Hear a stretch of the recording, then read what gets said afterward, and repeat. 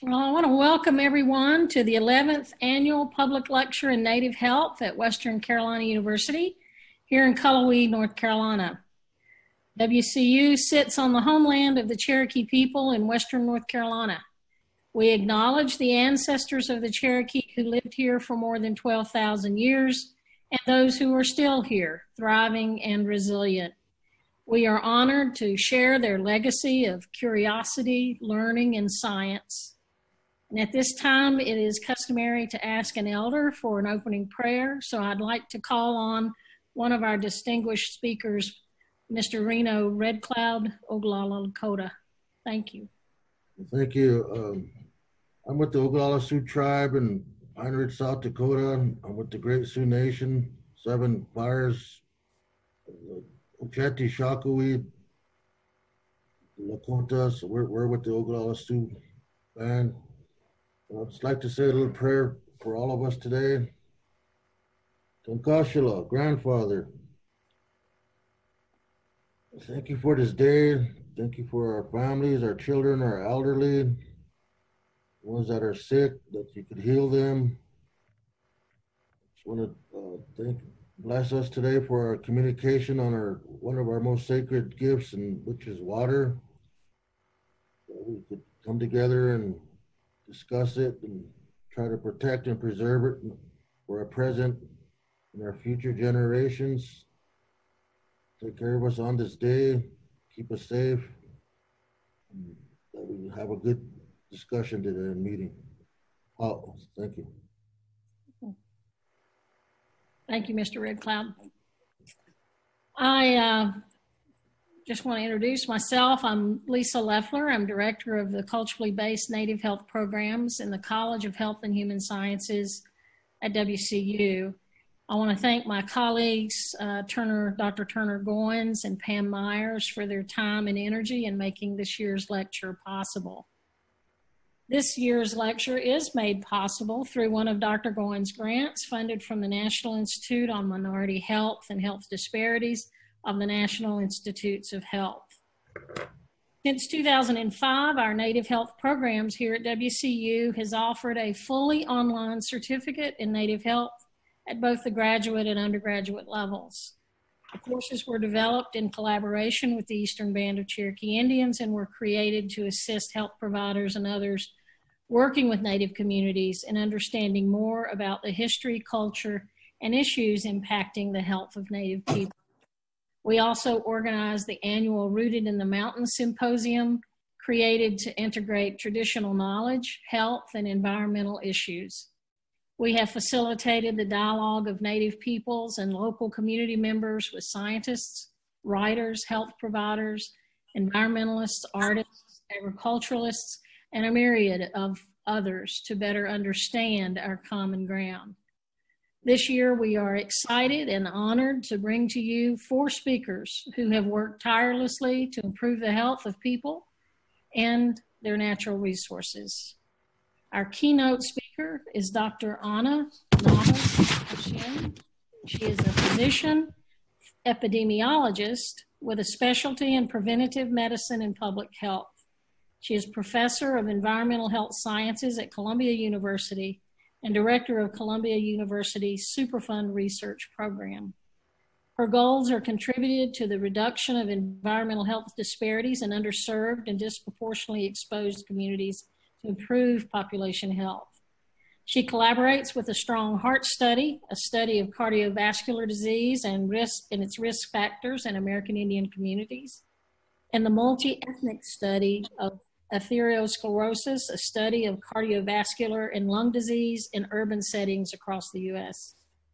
Her research investigates the long-term health effects of environmental exposures, their interactions with genetic and epigenetic variants, and effective interventions for reducing involuntary exposures.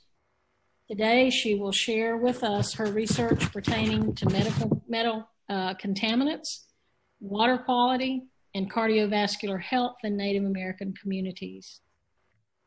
After Dr. Uh, Navas Acien's talk, we will ask our three panelists to offer their insight and to speak to their work uh, being conducted in their communities.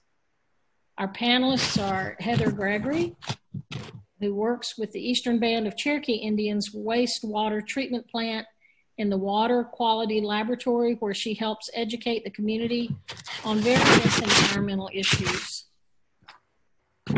Um, her focus areas of interest are chemistry, hydrology, microbiology, and wetland science. Her work is grant funded by the EPA and works accordingly under the EPA Section 106 Clean Water Act. Our next panelist is uh, Reno Red Cloud Sr. He's sixth generation descendant of the Oglala Lakota Chief Red Cloud.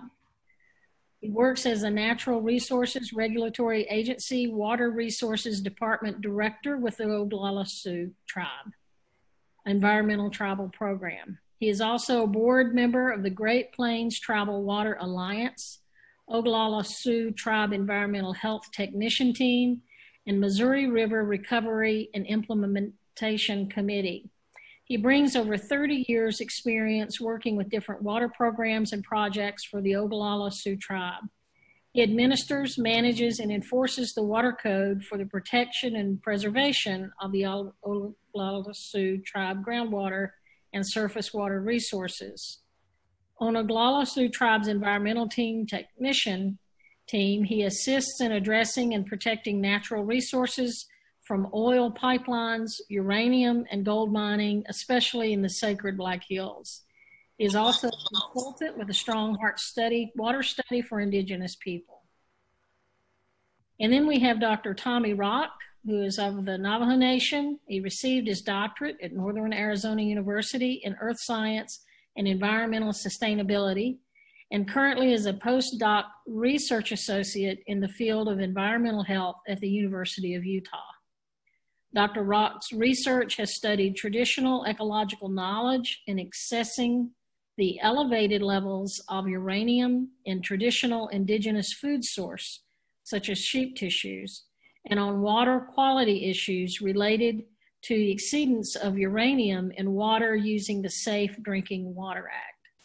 We are very honored to have each of you here today and um, really are welcome um, you here and really appreciate the time and energy of speaking. So during these talks, please, for the participants, uh, who've registered, please feel free to submit your questions through the Q&A box on your screen. After everyone has spoken, Dr. Goins, Pam, and I will present one question at a time for the speakers. This event is recorded and can be shared with all registrants who are interested. Uh, there's also a thumbs up button uh, that if you see a, a, question that has already been asked, uh, you can uh, hit that thumbs up. That means that it votes that that question be asked. So now I'd like to present Dr. Ana Navas Acien. Thank you.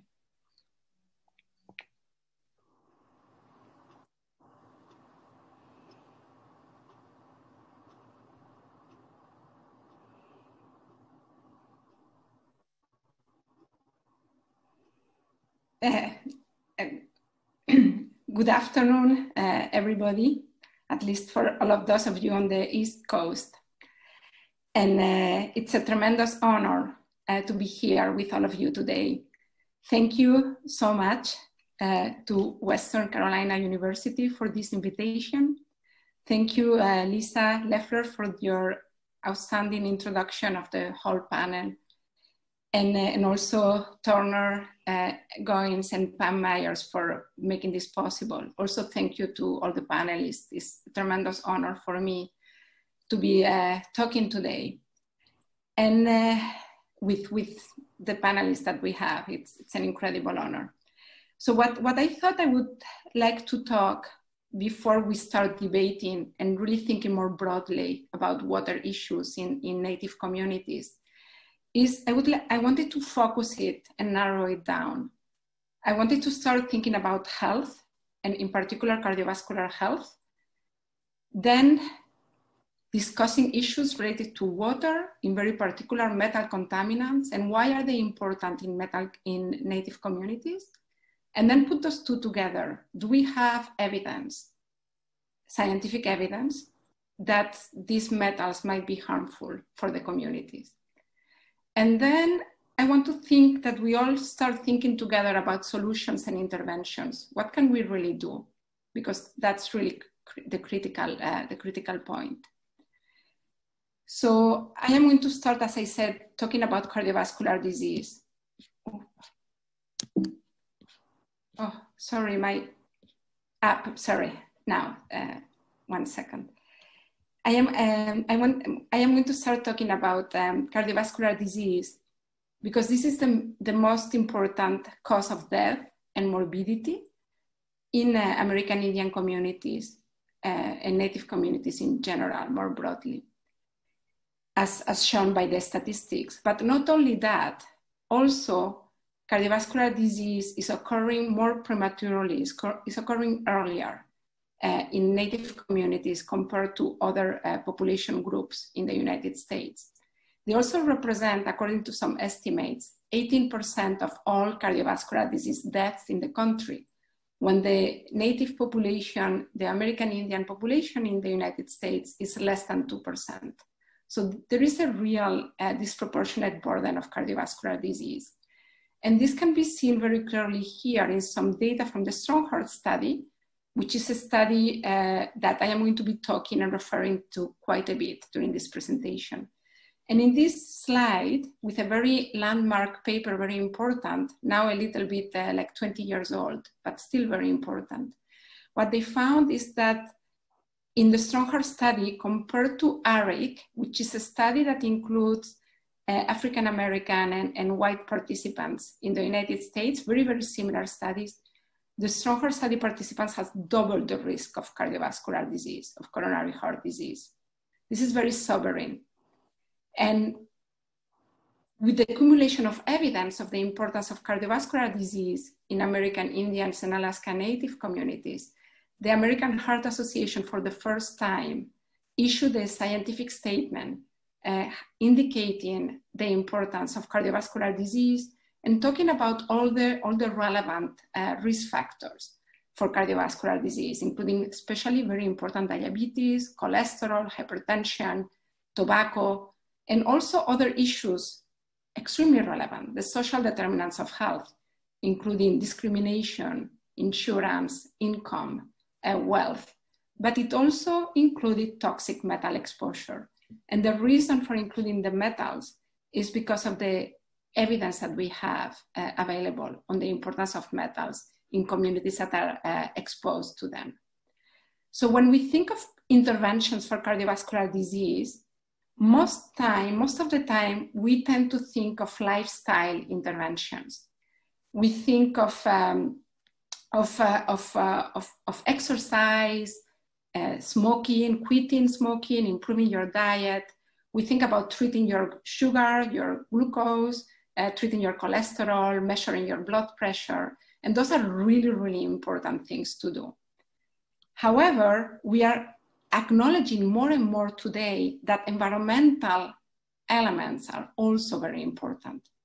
And in the guidelines from the American Heart Association, which are called A, B, C, C, D, D, E, I would like to propose that we need to add an additional E for environment. We need to protect our air that we breathe. We need to protect the water that we drink. And that's going to be essential for all communities to have uh, healthier uh, lives and to have reduced the burden of cardiovascular disease. So I am going to now focus on water, which is a major uh, theme of today.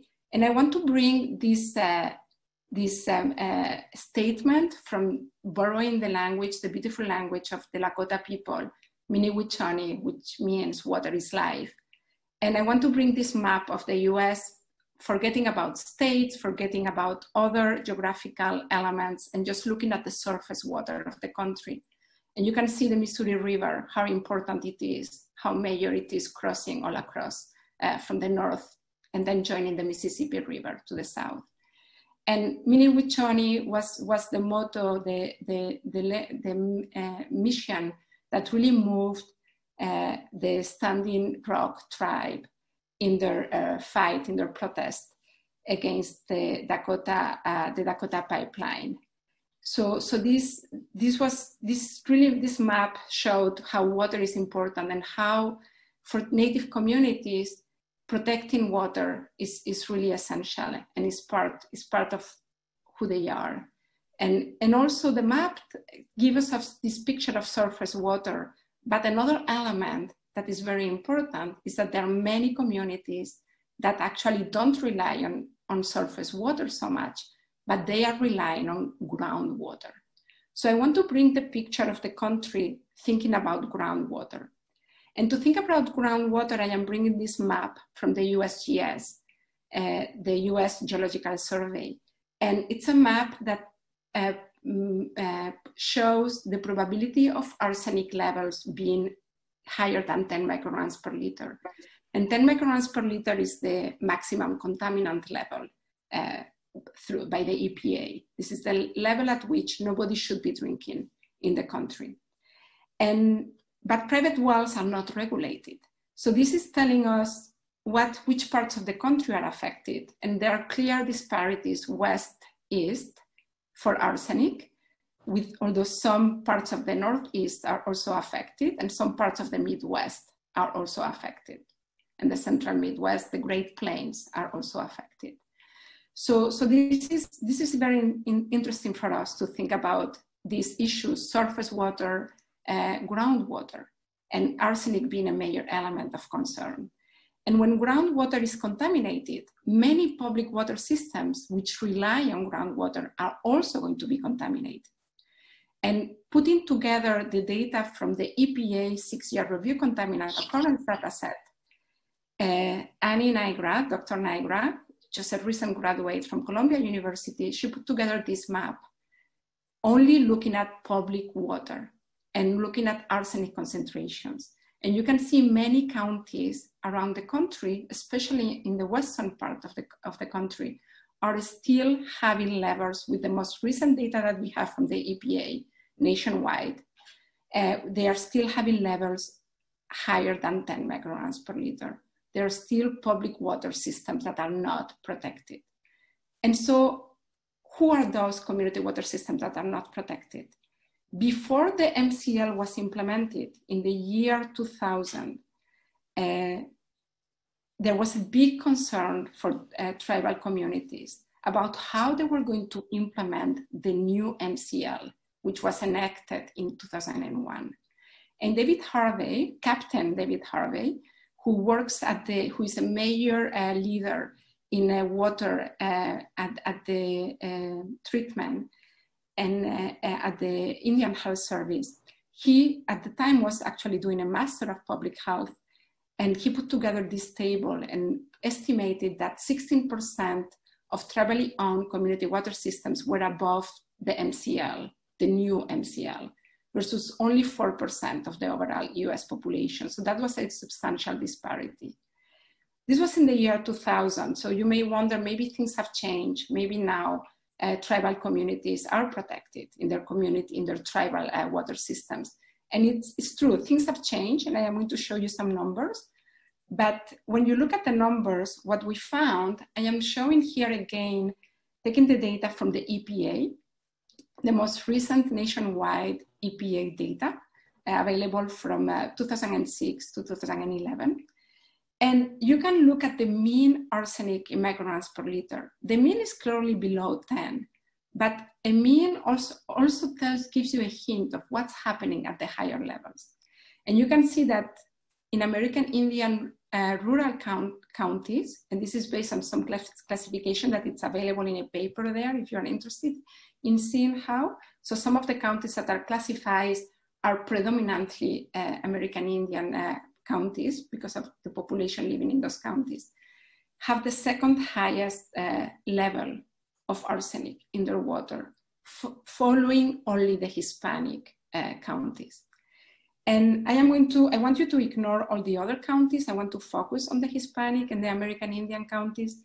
And this was, this data for 2006, 2008, the first years very rapid, very following the new MCL, which had to be implemented following 2006. But if we go to 2009 to 2011, uh, we can see that the levels have gone down. Actually, even a little bit, maybe more, relatively speaking, for the American Indian counties. And we can see that there has been a decline that in relative percentage is, can be considered of 15.1%. So these are good news. We are in the right trajectory. At the same time, if you look at counties that are still uh, not compliant, the counties that are like uh, predominant classified as American Indian counties have an odds ratio are 2.43 times more likely to be non-compliant compared to the other counties in the country. So they are good news, but arsenic exposure at the levels above the MCL are still important and a problem in several uh, counties that are predominantly uh, American Indians, and the same for Hispanic counties, showing, highlighting that this is a major disparity that still exists today in the country. But arsenic is not the only uh, contaminant, it's not the only mineral uh, in the water, in the groundwater. In a, using data from the Strong Heart study and comparing to MESA, studying urban uh, uh, cities, as it was uh, mentioned by, by Lisa at the beginning, and I worked with, quite a lot with these two studies, we found that arsenic levels were higher in the Strong Heart study participants. This is measured in their urine. This is no longer what's in the water. This is what's in the people. What they what they've been drinking, what's happening, how it's going through their bodies, how it's excreted through the urine. And we found that arsenic, tungsten, and uranium were higher. These three metals were higher. And when we did some type of clustering analysis, which is an untargeted way to see which things come together, the three metals came together, arsenic, tungsten, and uranium.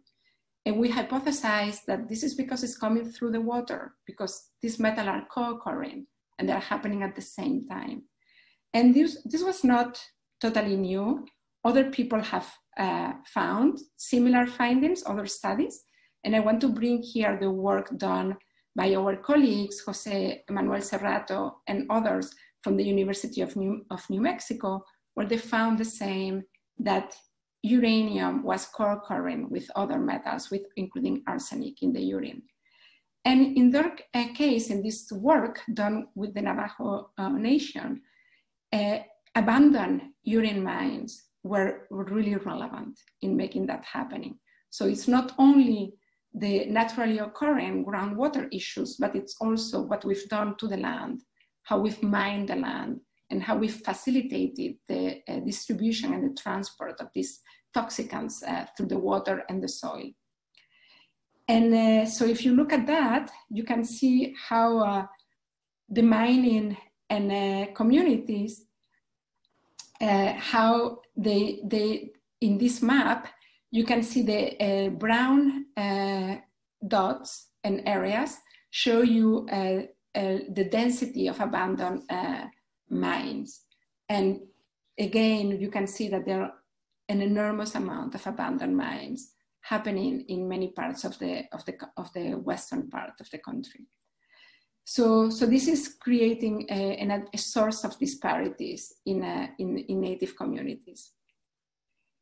And you can see again, this is, I am bringing you the similar map with community water systems for arsenic before, but now for uranium, using again the EPA uh, six-year review contaminant occurrence data sets for the period of the year 2000 to 2011, which is what's available for uranium.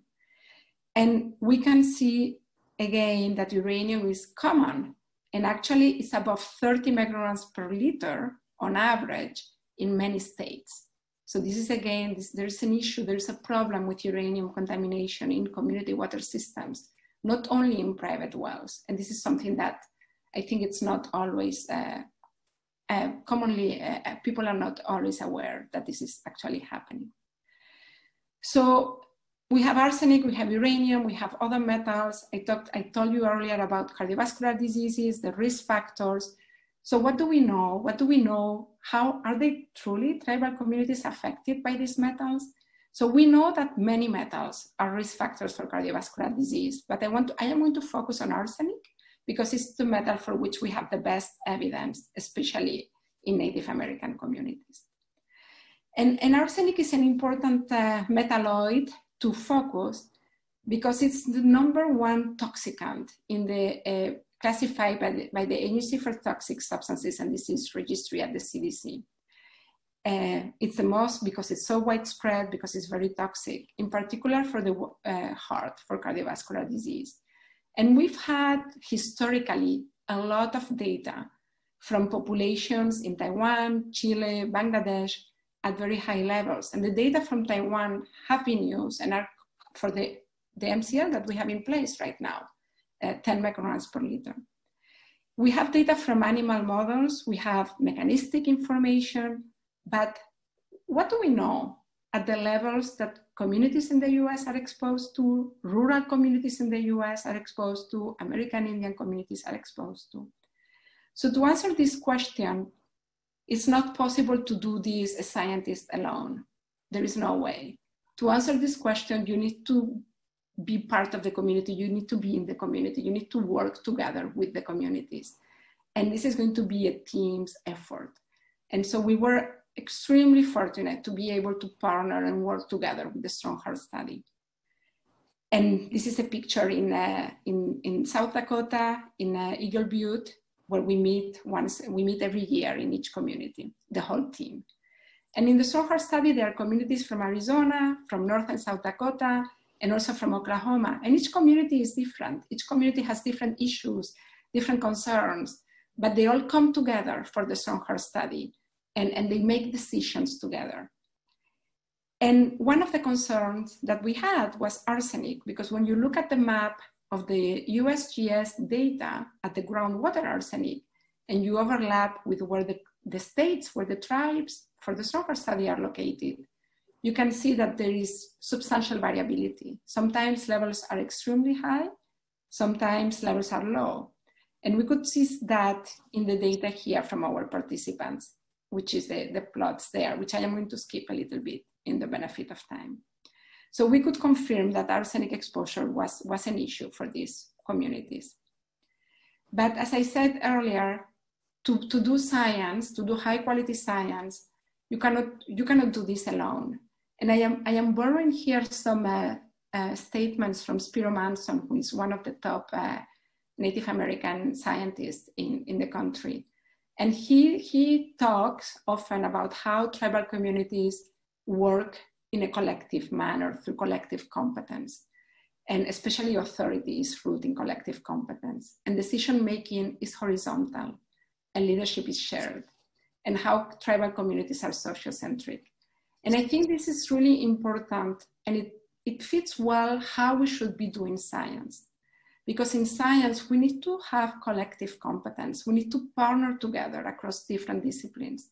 But not only that, it's not only doing the science, the exposure assessment, the epidemiology, understanding the mechanisms, the toxicology, understanding how our genes might change effects, and how understanding behaviors and how we can make real changes, doing interventions. It's not only that, the scientific disciplines, but it's really working together in partnership and with real trust with the communities in a sustainable manner.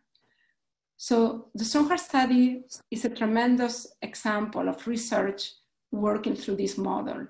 And they started in the late 80s and they're still working today with these communities across four different states, 13 tribes, 12 tribes still engaged today. And so what we did to be able to answer the question on arsenic and cardiovascular disease is that we measured arsenic in the urine samples that were collected initially for the study. So the samples were collected in the late 80s and 90s, and then in the, uh, the early 2000s. So we went back in 2006 and went back to the freezers where the precious samples had been stored with a lot of respect and care. And we took the samples and measured the arsenic. So now we were able to know for all of these individuals who had been participants in the Strong Heart study, which were their exposure levels. And we were able to see what happened to their heart disease over the time. And then when we make those connections, unfortunately, what we found was that the higher your arsenic at the beginning of the study, the higher your risk for cardiovascular disease. So compared to the people who had the lowest arsenic, less than 5.8 micrograms per gram of creatinine to account for uh, dilution, we could see a clear dose response. We could see a clear uh, increased risk. Sometimes you wonder maybe there was something wrong, we did something wrong, the study was not representative. And, but a few years later, in a rural part of Colorado, and these were uh, white participants and Hispanic participants in Colorado, they found the same increased risk. Also, people with the highest levels of exposure had higher risk of cardiovascular disease, coronary heart disease. So this showed consistency. And also, if you try in an animal model where you can really control all the potential biases, and in an animal model that use levels of exposure that are very similar to what the people in our communities are drinking, we could see clearly how atherosclerosis, which is the underlying, is the thickening of the arteries because there is a problem, and, and that's an early development to cardiovascular disease the animal model developed more of this uh, early disease for cardiovascular disease. So showing very, very consistent findings. We wanted to see not only disease, sometimes disease happens very late in life or, you know, as, you, as we age, but we can start seeing preclinical problems already early in young adults. So we went to the, our Strong Heart Family Study, which recruited the, the younger uh, siblings and the younger uh, children, the offspring of the, of the elders, which were in the original cohort. And we look at the function of their heart. And we can do that with an ultrasound. You can look at the, take an image of the chamber of the heart. You can see how it works. You can see how thick the different walls are. When your wall, when your heart needs to work harder because it's, it's just harder uh, because maybe your blood pressure is higher, then it starts to get thick and that can have many complications down the road, many cardiovascular complications. And again, in these young people, we could see that the higher the arsenic, the thicker was your heart. So there was an editorial at the time uh, saying arsenic is a metal that might break your heart. And, and it's really highlighting the, the importance of, of these findings.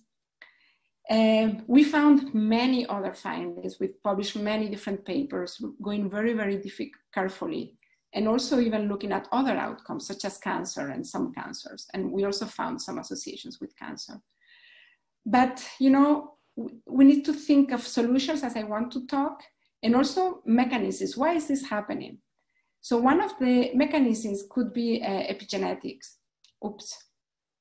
And, and this is, uh, epigenetics is, is related to gene expression. And that means how the genes are functioning. And one way of uh, thinking about epigenetics is to imagine that your DNA is like a book. It's like a big code, but you don't want to read the whole book. That will be a mess. You want to read the, the, what's important for each chapter. And you can imagine that each chapter is a different types of cells. Some are your blood cells, some are your liver cells, your muscle cells. And so you need to read different sections of the book. You need to highlight different sections. So that's what epigenetics is doing. And so we are looking into epigenetics. I'm going to skip this, this slide because of the benefit of time. And we can, th these epigenetics are very helpful and we have some research going on showing that we can actually increase our ability to predict who is at risk of cardiovascular disease through uh, the measure of epigenetics. So this is kind of complex science and, uh, and and looking using again DNA from uh, which were collected a, a long time ago in a very stored in a very respectful manner and, and always with the approval and, and agreement from, from the communities to do this, this work, which we hope uh, can be used to benefit them. And I'll talk a little bit more about this. I am going to skip the role of genetics, which is also very important, because I really want us to start thinking about the data that we have, who owns it, how do we share it with others, in which terms do we share the data, the raw data with others, and also who benefits about science, because this is something that never, nobody taught me this when I did my PhD in the early 2000s. This is not something that at the time people were discussing much. In science, we kind of people assume that that was a good thing to share data. But by working with the tribal communities, I am extremely grateful and I've been really humbled because tri- the, tribe, the tribes from the Strong Heart study have, and many others also, have made scientists think more carefully about data ownership. And in the Strong Heart study, the tribes own the data. They make the decisions of when the data can be used and in which terms. And that, that's very important. It's not me as a scientist. It's not my institution, Columbia University. It's not the NIH who owns the data. The tribes own the data. And it's by working together that we make decisions about how we use the data. So we want to use the data very well. We want to use the data well because who's profiting from the research that we are doing? We need to, to keep that in mind. It's very important. So I want to bring again this, this uh, concept of the tribal communities restricting, uh, resisting unrestricted data sharing so that it's done in a way that is where they don't have anything to say. Most of the tribes that I've worked with are, are okay with sharing data, but not in just in a non-restricted manner. They want to be part of it. They, they want to be the ones who make the decision. And I think about this, it makes me think about how uh, the Standing Rock tribe defended the water in South Dakota, defended the Missouri River, preventing contamination from oil from the Dakota uh, pipeline and uh, Dakota Access Pipeline. And, and so, so this is this is why I, I am very I really valued this work and how much I am learning because understanding of how we need to protect the data in an equal way as how we protect our natural resources. And there is now, uh, last year, a, a new a data transparency rule released by the EPA that mentioned uh, that we would only be able to use um, data when if the data had been shared. So this is showing you how contentious this issue of data sharing is. It's very contentious. But the idea that the indigenous communities, that native people must benefit from science is really growing and it's very important. It's not, it's not okay for us scientists to do science and us to benefit, companies to benefit, the government to benefit because the better decisions they are able to make with the science that we provide. That's not okay. If the communities who participate in that science are not benefiting, this is not okay. So the focus on solutions is extremely important. And now in this uh, scientific statement from the American Heart Association, which was released uh, just recently, and, and I mentioned earlier, there is a big focus on thinking of solutions, prevention, providing the interventions that the community needs, updating the clinical guidelines so that we have the best possible treatment and prevention opportunities for the communities. And uh, thinking about water again and thinking about how we can contribute, how our data can contribute, showing the risk. I think it's very powerful, for instance, at the regional level, to see how we can increase resources, how we can provide, plan better prevention strategies. And one example I want to bring is the um, uh, water uh, pipeline, which reached the uh, Pine Ridge Reservation, the Oglala Sioux tribe, in uh, around 2008.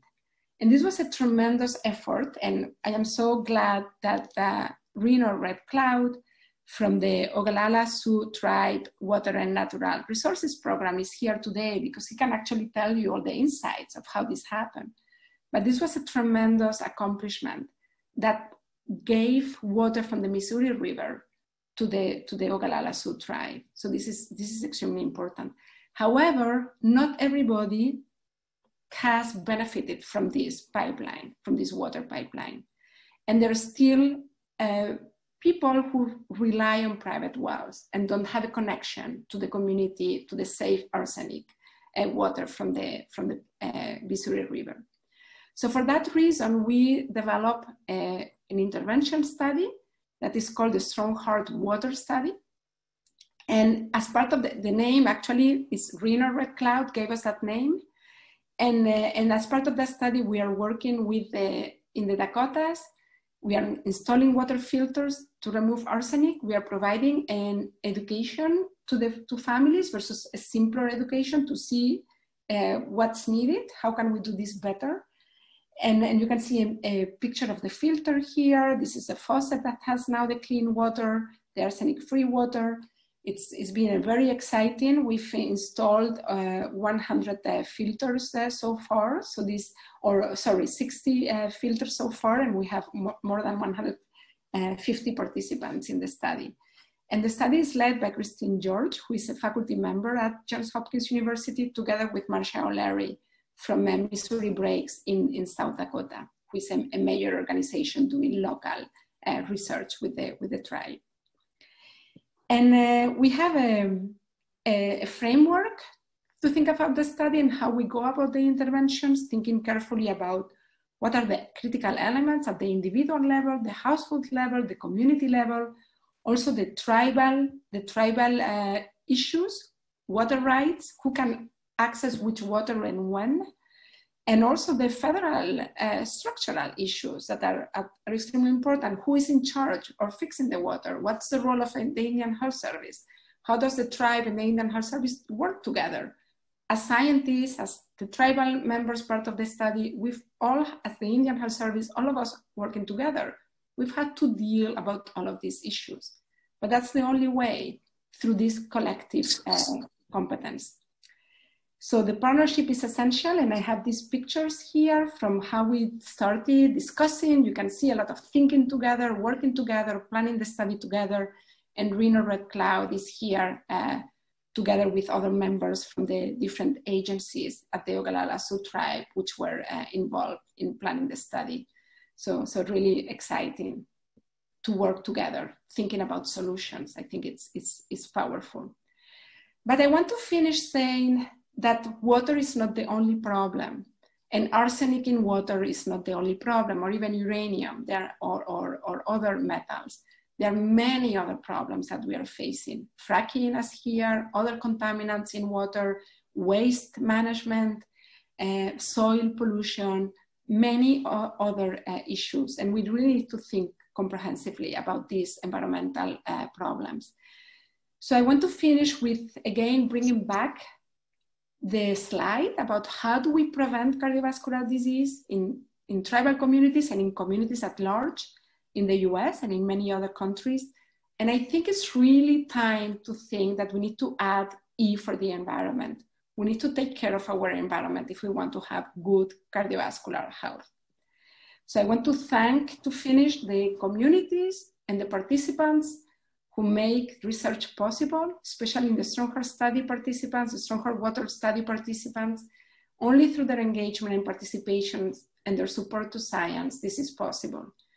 They have to contribute to research questions. They need to be engaged and they have to be part of conducting the research. And us, as scientists, we need to think about how the communities have to benefit at the same time, we need to be honest that benefits sometimes are slow, but we have an obligation to remain engaged.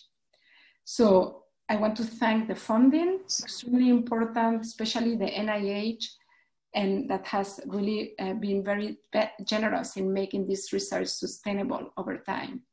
And also there are so many scientists and so many organizations to thank that I thought the best way to thank is through the students because the students really drive the science forward. And many, I'm listing students who finished a long time ago. Some of them have pursued amazing careers. Some are more recent students, just Kevin Patterson, who is just, it's a Navajo student and he's an MPA, just started this uh, last year. Now he's starting his second year. And we are just so delighted and fortunate to have these uh, students partnership also with the communities. And with this, I want to finish and uh, stop sharing my slide and uh, welcoming now the panelist members to respond, bring many other issues. I'm sure there are so many things that I left out that I would love if they can bring them in. And, uh, and then also at, at some point, I hope that we'll also get the questions from the participants. So thank you so much. Thank you uh, so much. Um, we appreciate that. It was a very informative, uh, and I'm sure we'll have a lot of questions come in. Uh, first of all, I'd, I'd like to uh, invite um, Mr. Tom, uh, Dr. Tommy Rock to um, uh, respond, if you will, and um, give us your perspectives of what uh, is going on and, and how are you working in your community as well? I um, let me introduce myself. And Nevo as well for my Nevo audience. Yate, Kasnilo, Tamara from Shadow, Jet Nasha, and Shadonaya, not that she's not as much as she told it, that's a shadow. Look at me, that's not? A I um, I left University of Utah. I'm not doing my postdoc at University of Utah anymore. I came back to the reservation. I'm here back in my home community, and my name is Vali, and working with grassroots organizations to address some of their environmental concern as well.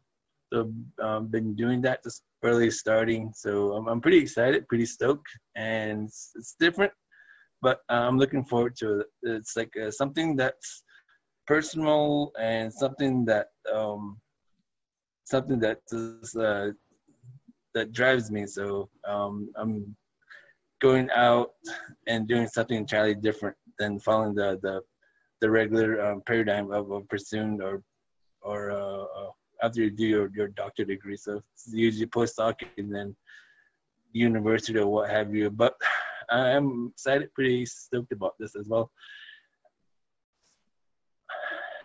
Uh, this is a well that people use. Uh, this is in Man- in Oljato. Um, next slide.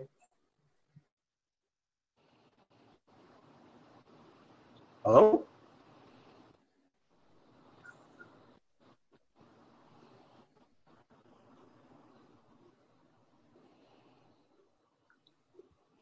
Oh, this slide, I, want, I wanted to show you what um, Ana was talking about, about other contaminants as well, not from, not just um, focusing on arsenic, but um, all the triangle or, or past uranium mines, and some of those little circle dots are wells that have been shown to be elevated in uranium and other contaminants as well. like um, there's a lot more of these now. Um, a lot of these sampling was done by University of New Mexico, Diné College, um, Northern Arizona University, like Dr. Jenny, uh, Dr. Jani Ingram's research team, which I was a part of, and USCP and CDC did a lot of sampling as well. So the big gap that was missing was on the western side, and there's um, where the circle is. That's where there's fracking happening. There's the Chaco Canyon. There's um, also um, cultural significant site there, Chaco Canyon for, for Navajos and for the Pueblo tribes in Mexico as well. And up in the oil and gas fields, up in northern Utah, there's a bunch of um, oil, oil and gas fields. And there's some wells, test wells for, for oils that uh, people are using um, for their livestock and for irrigation. There's a picture on the next slide that I'll show you, but also other issues such as um, gases from these oil and gas fields and I wish I, I had a picture of a um, inverse pollution that happened um, last year, and I wish I I saved it where I can easily access it, but I, I, I didn't manage to do that. But to the right hand is like where the um, test drill for the oil was, and people are using that. And in the background, you can see a corral, horse corral. There's horse corral. There's some cattle in that area. And on the other side of this picture, there's some homes just nearby that are using this for their agri- um, agriculture, their, their little farm plots. And to the left is wells that, um, the hand pump well that people do use um, and still use in some um, rural isolated areas on Navajo Nation. This is a hand pump well to the left hand side, and um, and also is like I want to go back and show you that the, the mix of mix issue of contamination, like from heavy heavy metal, petroleum, and now fracking as well, and also uh, pollution such as like uh, from um, oil and gas fuel like hydrogen sulfides, um, sulfide dioxide, and benzenes, and there's more other more contaminants as well. So my slide is basically just a, a, brief introduction of other pollutants as well that's happening on Navajo, and I'm and I'm pretty sure that's happening in other tribal community as well.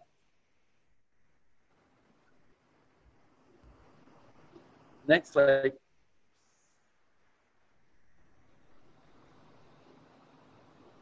And this slide just shows you what the COVID-19, what the, my tribe has done. Um, all the red dots are existing public water wells, and the blue dots are new wells that are being um, put in place.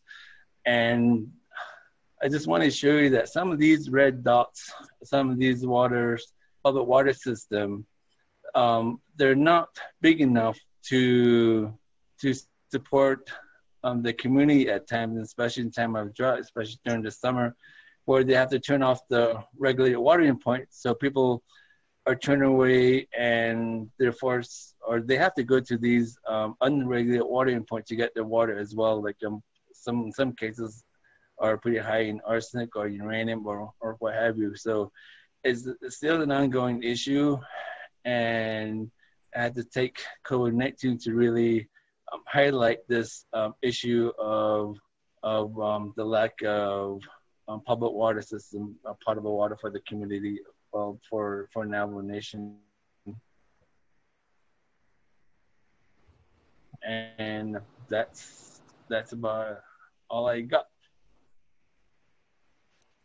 Thank you, Dr. Rock. That's um, it's always startling to me. It's horrifying, actually, to see all of contamination that exists there, and it must um, make life very challenging uh, for all of you. We we um, think of you and think of your folks in that part of the country uh, often uh, dealing with that. But thank you. Um, uh, I guess next, uh, maybe Heather uh, Gregory from works with the EBCI um, water waste treatment plant. Would you like to contribute your? Sure. So uh, my name is Heather Gregory. I'll just introduce myself. I went to, I got my bachelor's at Western Carolina Uni- excuse me, University in geology, and I went to graduate school at Coastal Carolina University in coastal marine and wetland studies. And I moved back up here to North Carolina, and I've been working here for the tribe for eight years now. And um, in the eight years that I've been here working with water, I think some of the biggest contaminants I've seen in our water supply are probably nutrient the nutrients we get from agriculture and runoff, such as um, big into nitrates, which I know can, if you have some something like cardiovascular disease or or diabetes or something like that, it can make you more susceptible to some of the things that it can cause, especially for babies. They have something called methemoglobinemia, which is basically it's called blue baby syndrome. T- causes them to turn a bluish color, and it, and it can it can kill them.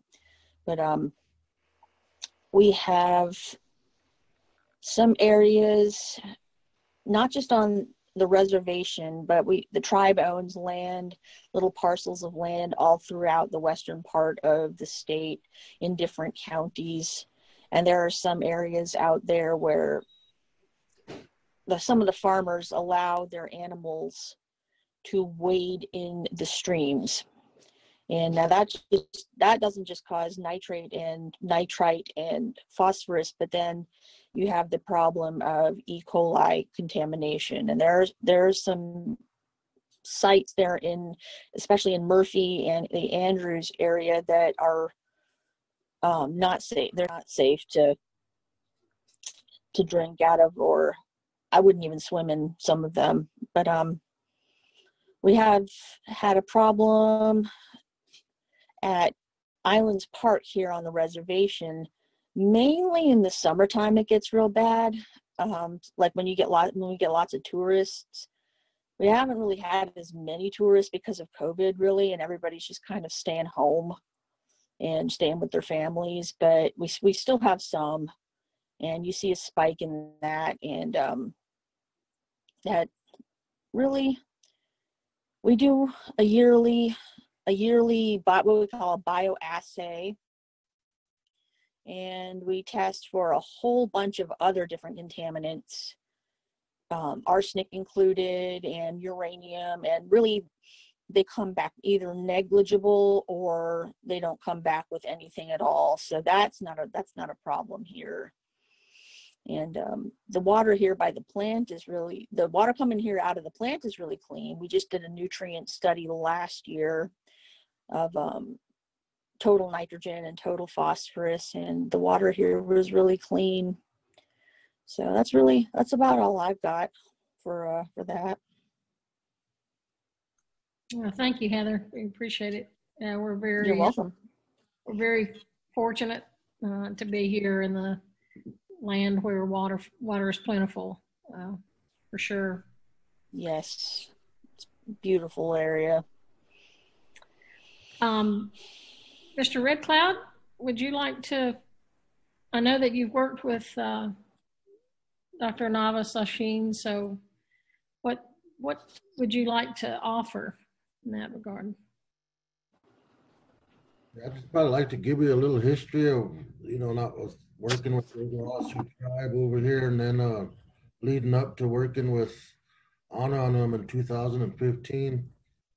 I worked for the tribe in the water programs from 1978 right to now. I'm an OST, Oglala Sioux Tribe Water Resource Department administrator, but um, I spent a lot of my years being a water operator for the, the community water systems in the 80s, 90s. I am certified under the state of South Dakota in Class water treatment, water distribution, Class One wastewater collection. Uh, but most of my ex- uh, I could offer is my experience that I've worked. I worked. I started with the Mni Wiconi in 1994 at the Operation and Maintenance Department, and I worked with them clear until 2010. I was 11 years as a field supervisor and five years as a director of operation and maintenance with them. But just a history on the Wiconi. Back in the 80s, when I worked with uh, the 14 community systems on the reservation, Pine Ridge, where, where there's various geography here.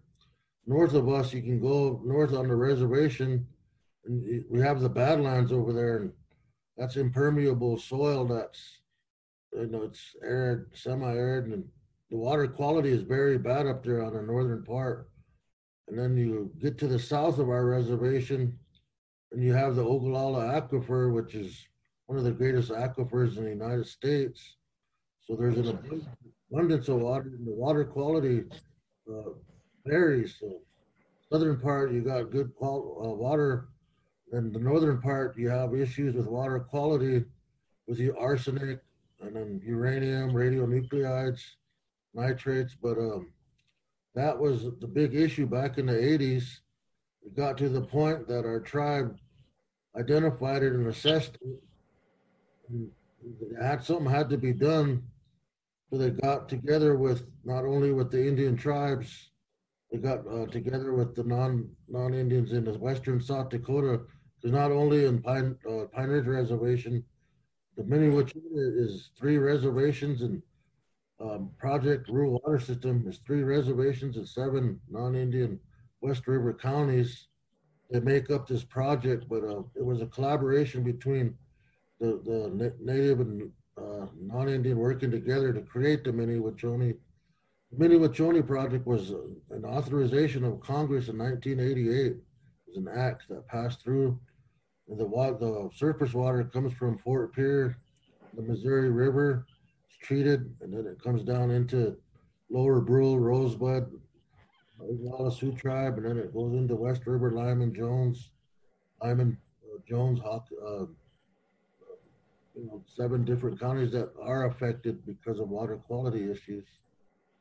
Yeah, the, um, the Mni Wiconi was a godsend in my eyes as a water water operator. And back then, when I when I did get my first um, working experience with the Safe Drinking Water Act, I did sample for uh, you know different contaminants. I do know that the arsenic level at one time was 50 parts per billion.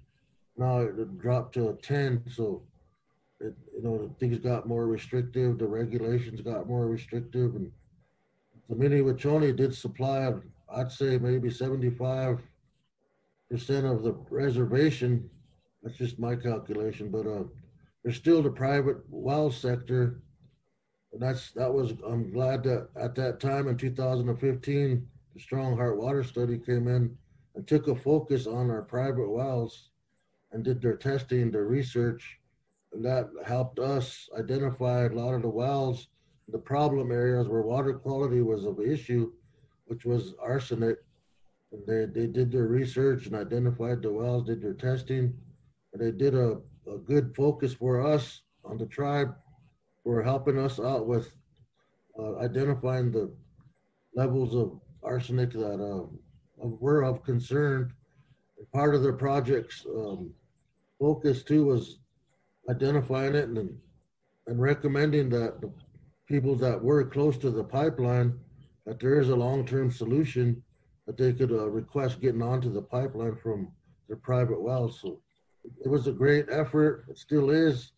I'm I'm glad that I was a part of it. I was a part of them in 2015. I was a, a consultant then, and then I'm, I'm still here to, to help them out. So, but I, I do see the need for water and we have the Mni Wiconi and that, I think that is, um, on Pine Ridge, we have 50% surface water, 50% groundwater. So there's still that need for, uh, testing the water and then with the Strong Heart Water Study, putting filters in there for now and then looking at trying to get them hooked up to the Mni Wiconi eventually, so, or different other alternatives. But this is a great project, and I'm glad to be a part of it. Thank you. Thank you, um, Reno, so much for the expertise that you bring as well and the experience that you've had. Um, one of the things that I think is just important to note is that even though we may not see ourselves here in this in our uh, part of the country here in western North Carolina as having uh, tremendous water issues, uh, there there are uh, a lot of things that we need to consider. How do we maintain good water quality here? How do we um, keep uh, others from appropriating uh, water from other regions? This was an issue a few years back with the big drought in Georgia. Um, and we have issues of contaminants in water. Um, we, uh, at Rooted in the Mountains uh, later in this month, uh, we'll have Jerry Miller, who is one of the lead uh, experts in dead rivers, uh, be able to talk uh, about that issue in with dead rivers and, and trying to recoup those rivers. So, in every region, I think, of the United States, there is increased concern about the safety of our water. Course, of national interest was Flint, Michigan, of course, and the issues that they still face up there. Uh, but fracking has been an issue uh, for many years here. We've uh, been very concerned about fracking uh, coming to this neck of the woods uh, as it has uh, in Oklahoma and in Arizona and New Mexico and and up farther north on the on the eastern coast. So we just want to bring in people from uh, native communities because I have in working for so many years, I really understand that native people have um, experiencing very high health disparities, high rates of health disparities. They really have done more with so much less than about any other um, communities that I'm aware of. And so we can learn a lot from uh, neighbor, native uh, communities about how they're addressing these issues, uh, how they um, utilize their own language and culture as part of that solution and understanding what, what to do.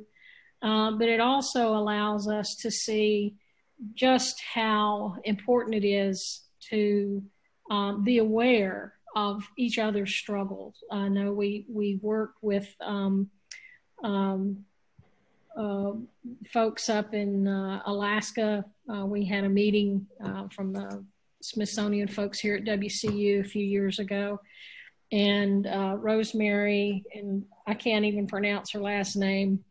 Uh, is a Nupik and is a nurse there in her community of Barrow, Alaska, and they have been fighting for many, many years uh, contamination from the oil and gas industry. Uh, in her community, she's seen many community members die. Um, and so there are these, these um, communities that have been fighting these issues for many years. And uh, I think we, we should be aware, we need to continue to be aware and continue to keep a dialogue um, between all of these communities uh, in addressing this because it affects ultimately it affects all of our health. Uh, and we have that responsibility i think to one another. But um, what uh, what we'd like to do now is if we have any questions i'd like for maybe uh, dr goins uh, and pam to maybe ask some of these questions that are popping up. Okay great. This is pam myers and dr navas we have one question that has come in uh, thanking you for your presentation. But the question is, uh, what kind of filtration process is used to lower the arsenic levels in the drinking water? And what is the maintenance required for it? That, that's a great question. So we are using absorption media and it's a point of use uh, treatment system.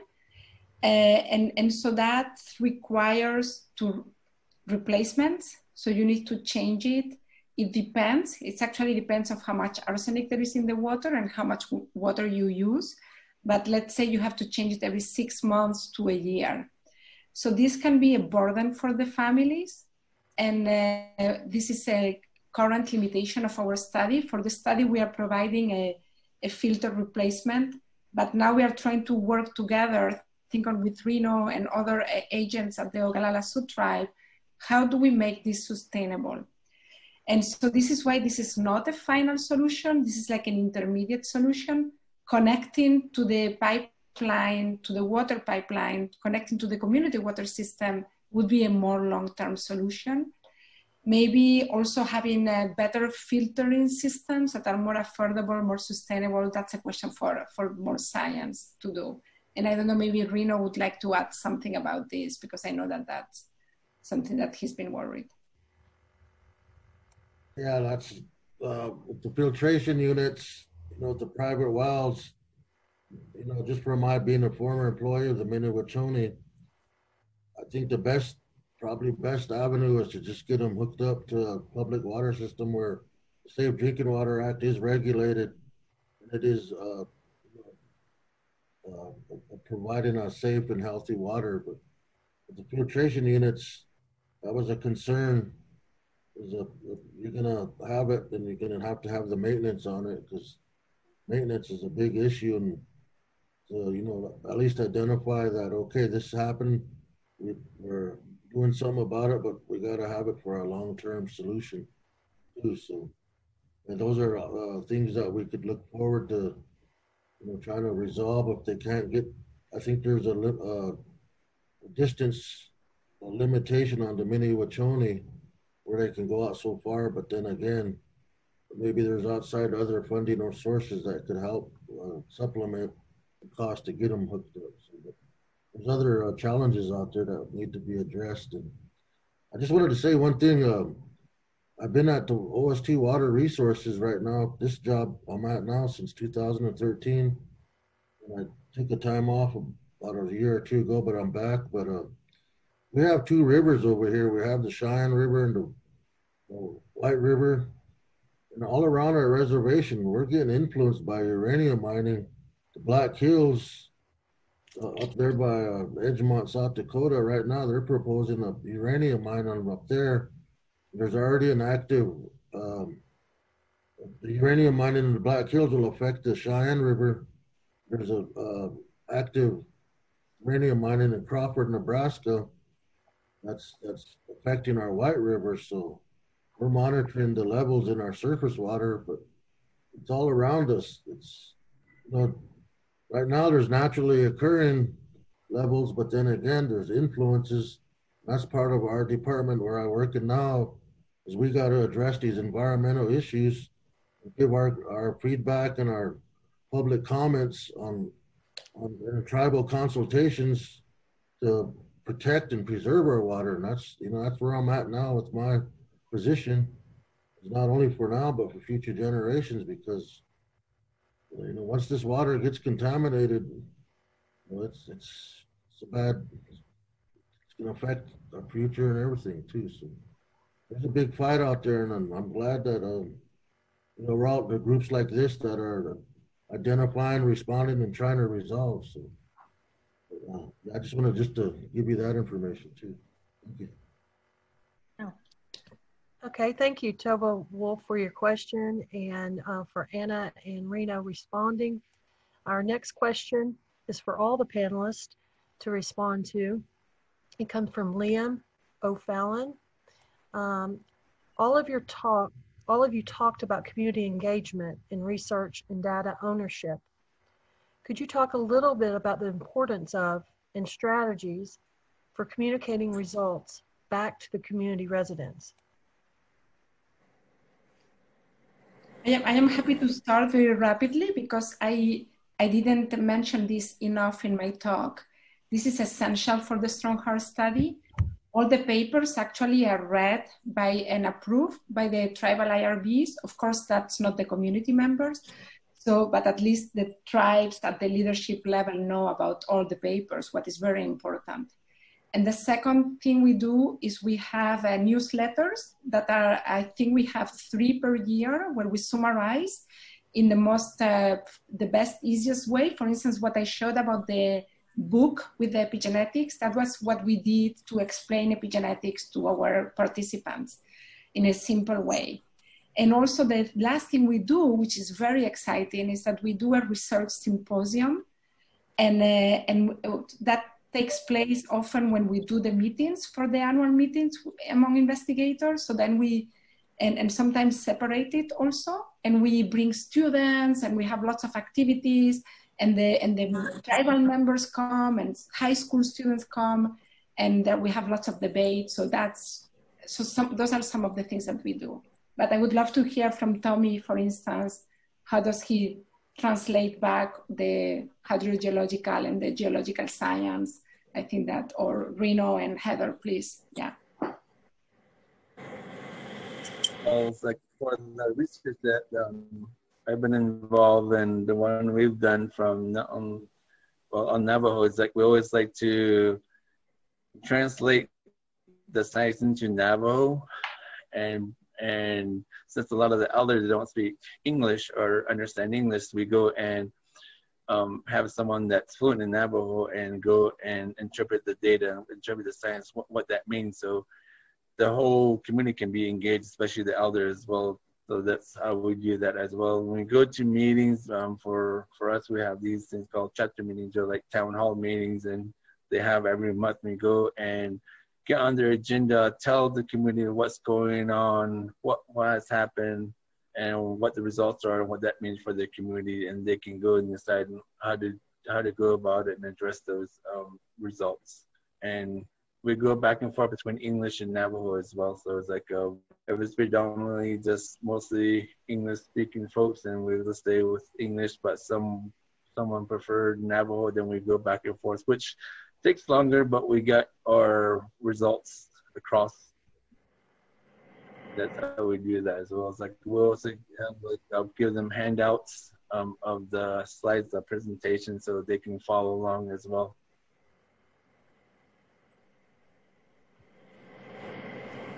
Okay, great, thank you. Um, our next question is from Jessica Corey. For all panelists, but maybe Dr. Rock and Dr. Navas Acien in particular. Um, question is, we've explored how uranium mining contributes to water contamination. But is there also additional contamination, particularly in the Southwest, due to the nuclear test that took place in those areas?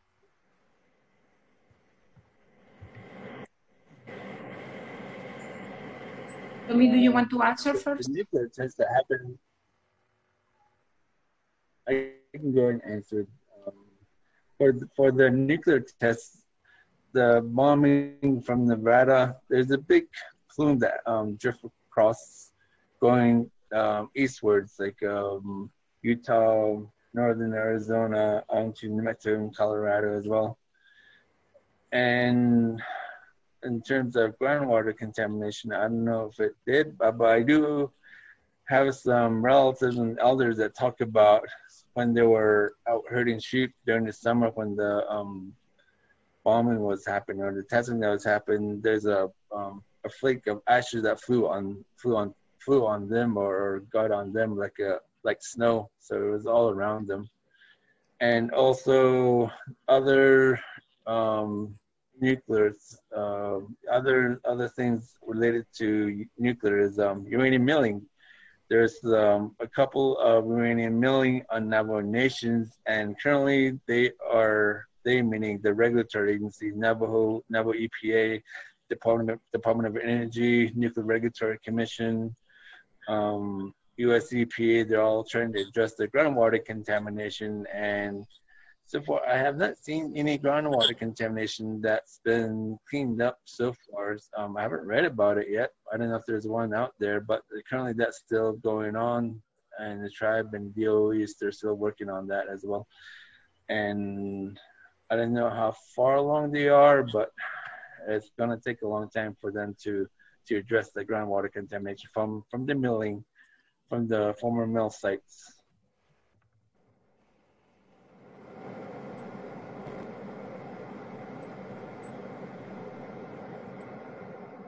Okay, um, if no one else would like to respond to that question, we can move on to the next. Thank you, Tommy. Uh, Robert, guys- Reno, Reno wants, sure, my apologies. You know what, first of all, I was, I was gonna respond to Ana's question about, you know, with the communication with the tribes, with the Oglala Sioux tribe. What I've seen is they're active with communities. I've Seen them active with our council people being at their meetings. Seen them active with the environmental health technical team, because I know Tracy goes to our meetings all the time and does presentations with our environmental programs especially the water programs. So uh, the communication here on Pine Ridge Reservation, Oglala Tribe is very happening, and it's it's, it's uh, the the project is is very helpful to our our people. Um, on the last question with other uh, like uranium, there are open pit mines from the 1930s and 40s up by Edgemont Igloo, South Dakota used to be a like an army camp back then. That was during World War II, and they used a lot of open pit mining up there to get their uranium. And a lot of them uh, pits up there are still open, and they're being weathered from the weather going through them open pits and going into our Cheyenne River. So there's still a lot of cleanup that still needs to be done. Like what uh, Tom Tom saying, uh, you know, there's it's out there, but who's cleaning it up? Then there's a proposed uh, uranium mine going by Edgemont now with for uh, aquifer drilling. My question is, has there ever been uh, mining that's done with an aquifer that's ever brought back to its normal status? Not, I don't think that's ever happened. We got to, we just got to be aware and then we got to respond and try to protect our waters. That's where I'm at now, right now with my job. I was going to respond to the to the community education stuff too. I'm I'm sorry I kind of blanked out there for a minute, but I was going to say we we usually did town halls, but um, since COVID, we haven't really been able to do that. We have been holding council meetings if we if we need to bring anything important to council, but um, really COVID has kind of made it so that we're trying to do everything kind of virtually now. But um, the data we have, we submit through what they call it's called STORET. It's it's the EPA. Anybody can access it.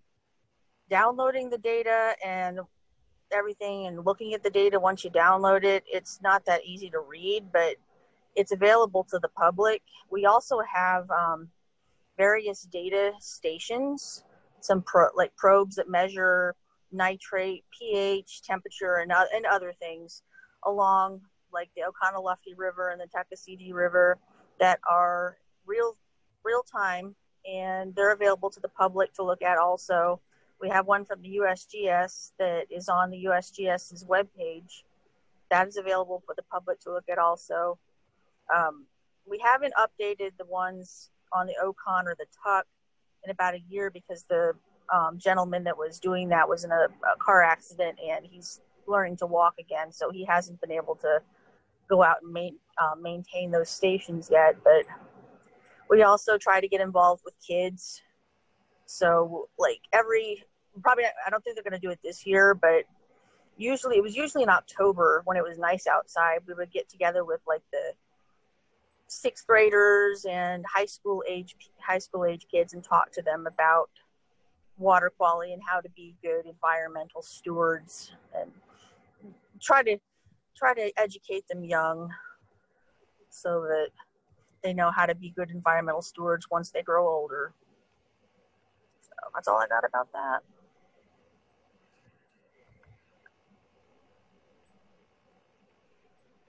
Okay. Um, we can move on now to the next question. Um,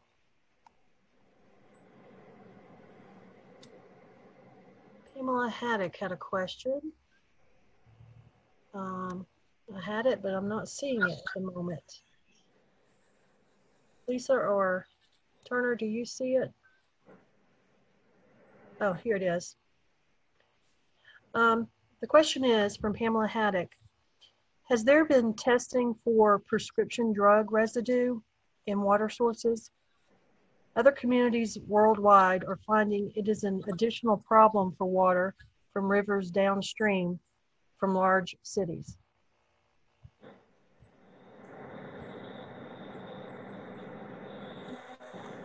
I mentioned we I responded because I was not sure how much time we would have for all the questions, so I started responding. We've done some pilot testing with USGS in both North and South Dakota. In, in the Oglala, it was approved in uh, 20 homes, I think it was. And, uh, and we've done it in Oglala, we only do private wells, but in, in two other communities, we did both private and public water systems. And we included pesticides, medications, other, other organic contaminants, the PFAS class, that is very important. Unfortunately, we don't have the results yet uh, because of the COVID lab interruptions, but we want to, as soon as we get those results, we want to prioritize which other chemicals beyond the metals are of concern for the communities. And I, I believe other communities might be doing similar efforts. Okay. Thank you. The next question is from Robert Sargis. Um, for those of us living elsewhere in the U.S., how can we best, or how can we be the best allies in the fight for clean water?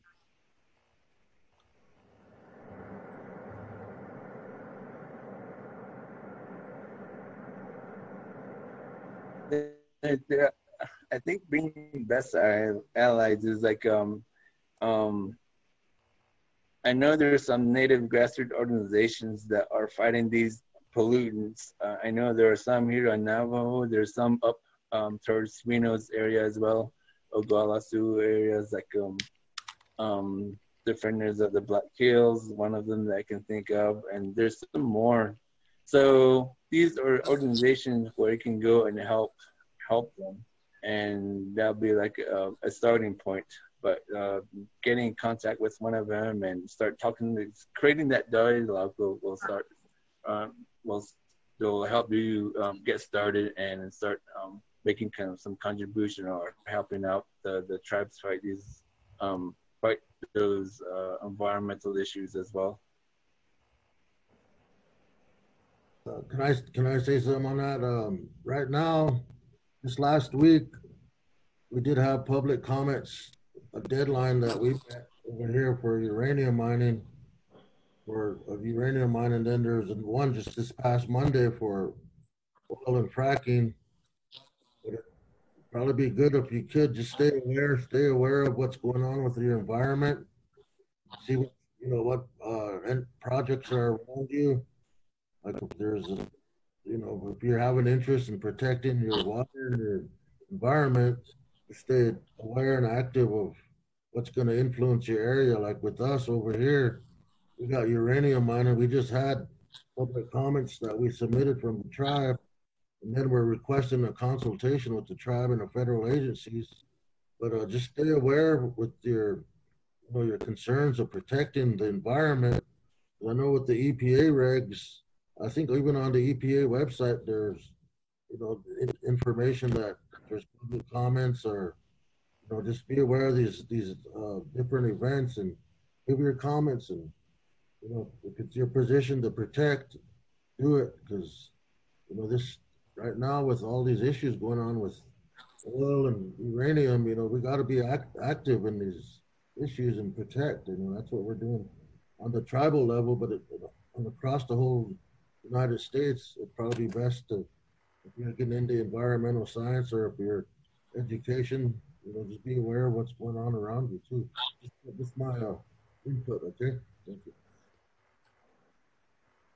Uh, one last thing I'd like to say uh, about that is that um, I know there's a lot of issues that's going on on now on native native land, native countries, in regards to environmental issues, but with with the rest of the country and with um, fracking that's going on and other environmental issues, like um, I always like to think of like um, what makes you think that won't happen to them? They're doing that to us. Is like um, what will stop them from happening to them? I mean, it's like what, for example, fracking. It's like um, they're happening on our res, but it's going to happen there, and there's it's already happened in other another part of the country that are predominantly white. So I think people need to be more aware of what the federal government's doing in terms of environmental issues as well, because it's going to impact them as well. It's like um, such such policies, such laws as the Clean Water Act, the Safe Drinking Water Act, it's going to impact them not now, but in the future and their and their future generation as well. Yeah, that's well said, uh, Tommy, and, and, you're exactly right. Um, that's very well put. We should indeed be very vigilant uh, to understand what's happening uh, with environmental regulations in our country, for sure. We, they've gone through um, very difficult changes here in the last few years, and we need to stay on top of it and be vigilant, for sure. Um, I'm going to um, have to wrap up, but I want to I want to thank all of our speakers. Um, uh, we really are honored by your taking the time and energy uh, to share your experiences and expertise with us. Um, we're very uh, happy that you were able to do that and appreciate it. Um, we also uh, apologize to anyone uh, whose questions we did not have a chance to uh, answer. Um, but um, just know that uh, we are interested uh, in in your questions and what you have to say. Um, and our uh, our speakers uh, may be given an option to respond to some of your questions later. But thank you all so much. We appreciate everyone's involvement. We thank you to Dr. Goins um, for funding from the uh, NIMH and uh, NIH and appreciate that so that it allows us to have these types of forums. So thanks again. I hope you all are able to uh, tune in um, on the, I think it's Thursday, the 24th of September we will have our rooted uh, seminar or webinar. Um, and I hope y'all can um, check back with us uh, to get the date and time and link for that as well. The topic again will be water. So thank you so much. Um, we appreciate everybody uh, listening and participating, and uh, hope you'll think of uh, think of us and come back next year. So thank you so much. Thank you. Thank you. Thank you. Bye. Bye bye. 拜拜。